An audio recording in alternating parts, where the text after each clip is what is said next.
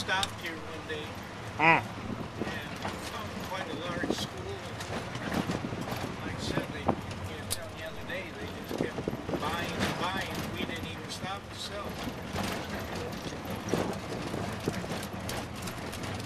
This makes our third trip here.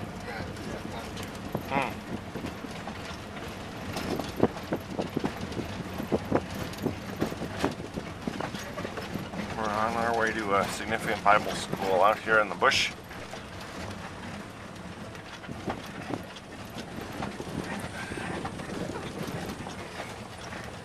To deliver Christian books and Bibles to their students.